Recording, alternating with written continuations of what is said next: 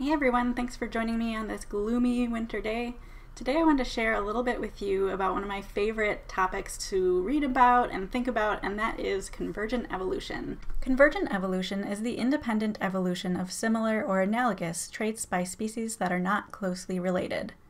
These similar traits evolve as a result of different species occupying similar environments or similar ecological niches.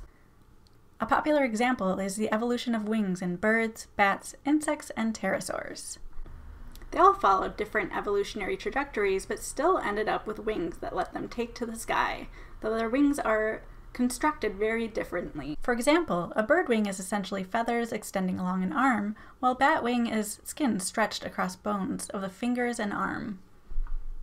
Another cool example of convergent evolution that may have distracted me recently, maybe for a little bit too long while I should have been doing other things, which is the case of the Tasmanian wolf, which is extinct, and the canids like foxes. Though Tasmanian wolves were marsupials and canids are mammals, the Tasmanian wolf evolved to fill a similar ecological niche, which led to a strong jaw, sharp teeth, and a similar body form. In botany, a wonderful example of convergent evolution is carnivorous plants, which have evolved independently at least seven times. These plants grow in nutrient poor soil, and as a result, they have developed ways to get their nitrogen and phosphorus in more creative ways by absorbing nutrients from their prey. The three pitcher plants Sarracenia, Nepenthes, and Cephalotus each evolved independently on their respective continent in the past, many organisms were taxonomically organized by their morphology.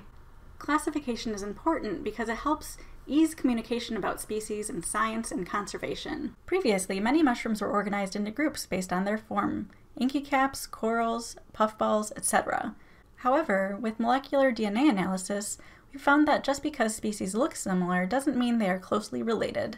This has made mycological taxonomy a little bit of a mess that scientists are still working on reorganizing. Now, this doesn't necessarily matter to someone who doesn't work in science and is just going out to find edible fungi to eat. Species A is still edible even though it's not as closely related to species B, but I think it can make a huge difference to understand the evolutionary history of the species that you interact with and how that fits into the big ecological picture.